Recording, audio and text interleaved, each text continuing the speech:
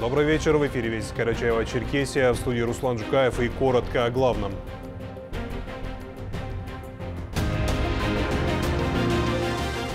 Глава республики Рашид Тимрезов в Москве обсудил с министром строительства и ЖКХ Иреком Файзулиным ситуацию в ЖКХ и планы по дальнейшему развитию.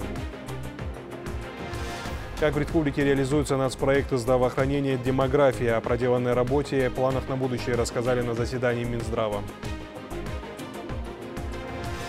Подарок ко Дню Победы получили военнослужащие СВО. Единый штаб совместно с партией «Единая Россия» отправили 8 тонн гуманитарного груза и письма от школьников. На таких примерах должна расти молодежь. Преградный прошел турнир по борьбе среди студентов в памяти прославленного летчика Героя России Канамата Баташева.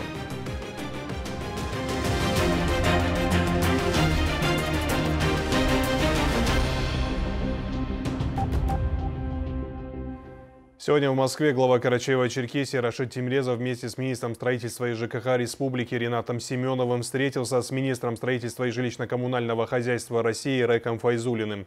На встрече обсудили текущие ситуации и планы по развитию этой отрасли. Прошлый год, год столетия Карачаева-Черкесской Республики, был ознаменован большим количеством сданных в эксплуатацию объектов образования, культуры, спорта, благоустройства и дорожной коммунальной инфраструктуры. Начат большой объем работ по строительству систем водоснабжения в различных населенных пунктах. Республика в этом году темпов не снижает, отметил глава республики Рашид Тимрезов. В рамках реализации национальных и федеральных проектов, а также э, госпрограмм в России в регионе ведутся мероприятия строительству, реконструкции и капитальному ремонту по благоустройству 213 объектов. Министр позитивно оценил темпы ввода многоквартирного жилья, в котором регион находится в пятерке передовых по стране. Также Ирек Файзулин поддержал планы по дальнейшему развитию строительной отрасли республики. В зале филармонии города Черкеска состоялось заседание коллегии Министерства здравоохранения республики под председательством руководителя ведомства Казима Шаманова. На собрании отчитались за прошлый год и наметили планы на текущий. Альбина Курачинова-Кенжева подробнее. Основным докладчиком выступил министр здравоохранения республики Казим Шаманов. По словам министра, успешно реализуется национальный проект здравоохранения, в рамках которого строятся новые лечебные организации, проводятся капитальные ремонты ветхих зданий, закупается оборудование, а также лекарственные препараты. Смертность в 2022 году снизился в сравнении с 2021 годом на 21%, но еще не достигли до пандемийного уровня. По-прежнему болезни системы кровообращения являются главными причинами смертности – и закономерно имеют наибольший потенциал, потенциальный вклад в рост продолжительности жизни, по 40% от общего числа умерших. Показатели смертности от злокачественных новообразований внешних причин достигли значения ниже 2019 года. Вместе с тем занимают вторую строчку смертности. На третьем месте это внешние причины.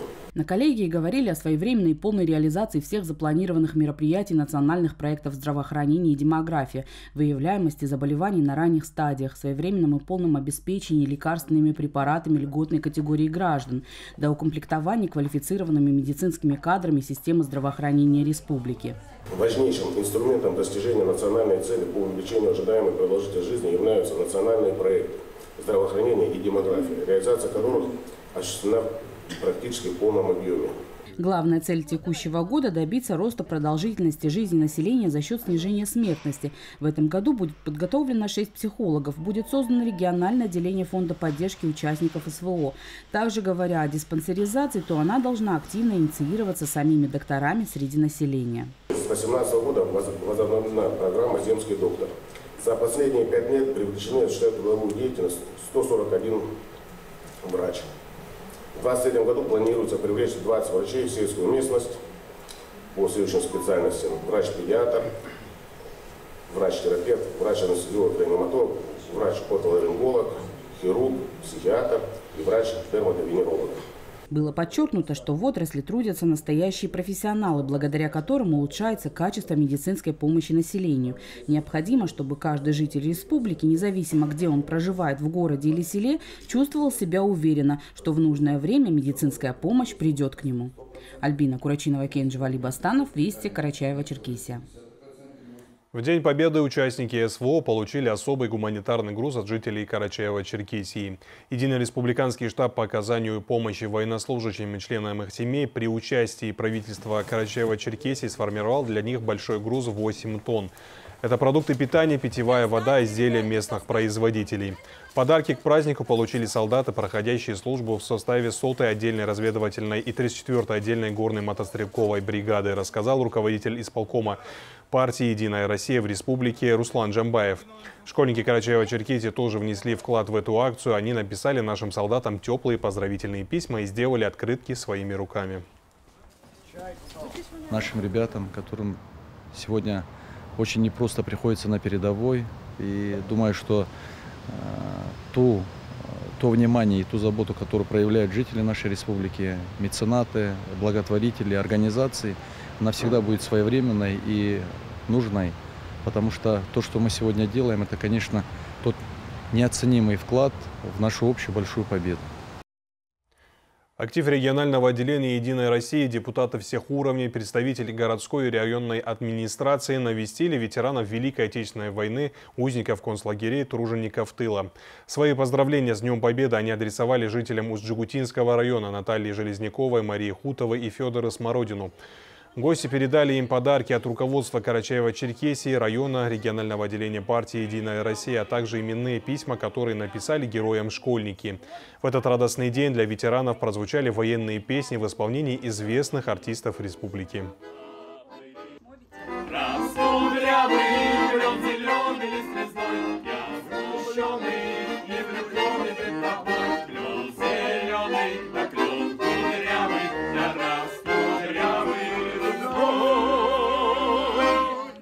Судебные приставы высадили ко Дню Победы аллею саженцев Катальпы в Покровском парке города Черкеска. Красивые декоративные деревья с крупными листьями и нежными белыми цветами, несомненно, станут прекрасным украшением зоны отдыха для жителей и гостей республики. Вскоре саженцы подрастут и будут живыми напоминанием всем о подвиге воинов-освободителей. Это дань памяти всем павшим в, стра э, в страшной и жестокой войне по защите нашей Родины. Сохраним память о победе все вместе, отметили судебные приставы. Сейчас прогноз погоды, а после мы продолжим выпуск. Не переключайтесь.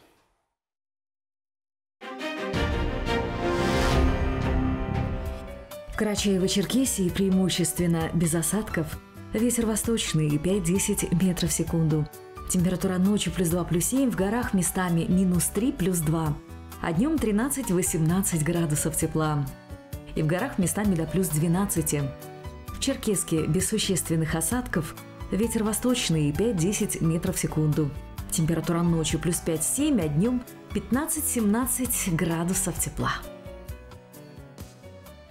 В Кисловодском цирке с 29 апреля цирковой мюзикл на воде «Одиссея». Хирургия катаракты. Любой сложности в клинике глазной хирургии доктора Крылова «Окулюсарт». Даваторцев 39А, 43, 73, 87.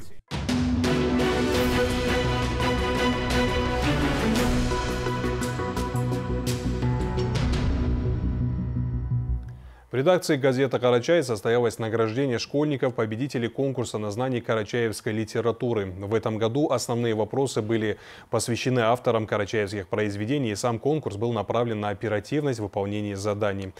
Исполняющий обязанности министра Карачаева-Черкесии по делам национальности и массовым коммуникациям и печати Ислам Хубиев отметил важность и необходимость подобных мероприятий, поскольку они способствуют сохранению и изучению родных языков, а также расширению кругозора школьников. В ходе торжественного мероприятия Ислам Хубиев, главный редактор э, газеты «Карачай» Альберт Узденов, заместитель председателя общественной организации «Карачай» Ланхал Сулеймен Баташев, а также поэты Дина Мамчуева, Махмуд Кубанов и Хусейн Липшоков поздравили ребят с победой и вручили им почетные грамоты и призы. Кроме того, были вручены благодарственные письма учителям карачаевского языка и литературы, обучающим лауреатов конкурса. По итогам конкурса победителями стали ученицы 11 класса средней школы поселка Правокубанский Арина Бадахова, педагог Белла Киикова. Ученица 10 класса средней школы села Важная Аланея Тимрезова, воспитанница Алины Тимрезовой. И ученик 9 класса второй школы города Черкесска Джамал Байчоров, учитель Фатима Заузанова. Станице Приградной прошли всероссийские соревнования среди студентов по спортивной борьбе, посвященные памяти Героя России генерал-майора авиации Канамата Баташева и 78-й годовщине Великой Победы.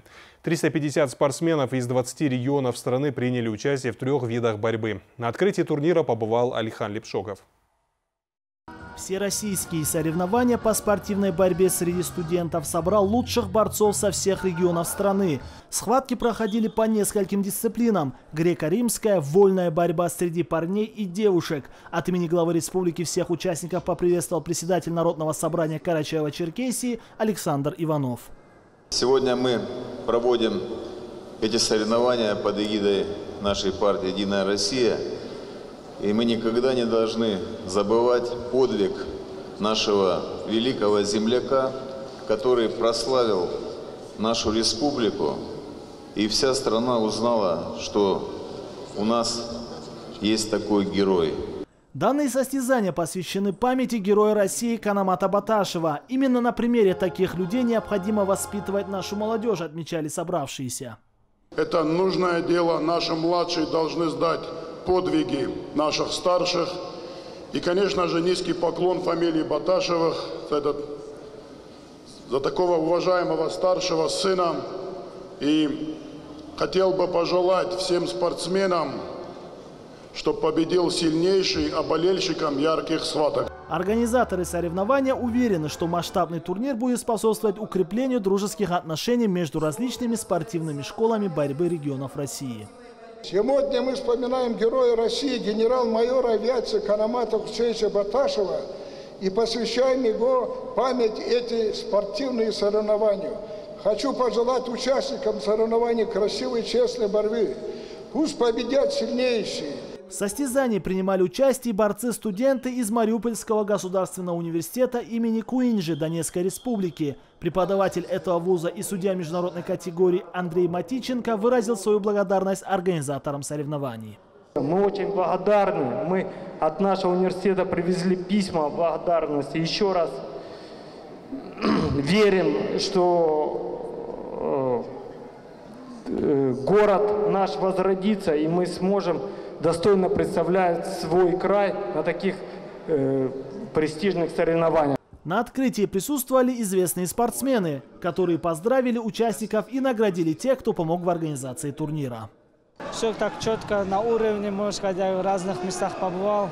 На уровне проводят соревнования. Очень все круто, все хорошо, организация супер. Я процветания им дальнейших, чтобы еще больше было таких соревнований. Высокую технику и волю к победе демонстрировали участники соревнований. Эти состязания помогают приобретать необходимый профессиональный опыт, отмечают борцы. Это большой опыт для нас, очень помогает нам в борьбе в будущем, чтобы мы лучше выступали на таких всероссийских международных турнирах. Моим партнерам по команде хочу пожелать удачи, чтобы им повезло больше, чем мне, чтобы они выиграли все свои встречи. По итогам соревнований три медали завоевали борцы нашей республики. Серебро у Денислама Булурова и Ануара Чагарова. Бронзу взял Марик Шебзухов. Победители разных весовых категорий примут участие в чемпионате России и на международном фестивале университетского спорта. Алихан Лепшоков, Мухаммед Ашибоков, Вести Карачаева-Черкесия, Урупский район. В спорткомплексе МВД России по Черкеску прошло соревнование по волейболу среди девушек. Мероприятие организовано в рамках празднования юбилея создания патрульно-постовой службы МВД России, которой в 2023 году исполняется 100 лет. Начальник отдела организации охраны общественного порядка МВД по Карачаево-Черкесии Шамиль Тахчуков, обращаясь к юным волейболисткам, отметил, что приятно осознавать, что молодое поколение большое внимание уделяет спорту, тем самым пропагандируя здоровый образ жизни и формирование позитивных жизненных установок. Он пожелал спортсменам показать зрелищную игру, которая будет сопровождаться атмосферой дружбы и взаимоуважения. Соревнования проходили по круговой системе и заняли весь день с учетом перерыва на обед в полицейской столовой. В результате состязания победу одержала команда «20 век» из Черкеска. Второе место заслужили также волейболистки из Черкеска команда «Огненные львы». Бронза досталась спортсменам из аула Хабес. Победителей призеров и участников турнира, посвященного столетию патрульно-постовой службы полиции, отметили кубками, медалями и грамотами. Это все вести на сегодня. Прямо сейчас смотрите продолжение сериала «Катюша». Всего доброго и до встречи в эфире.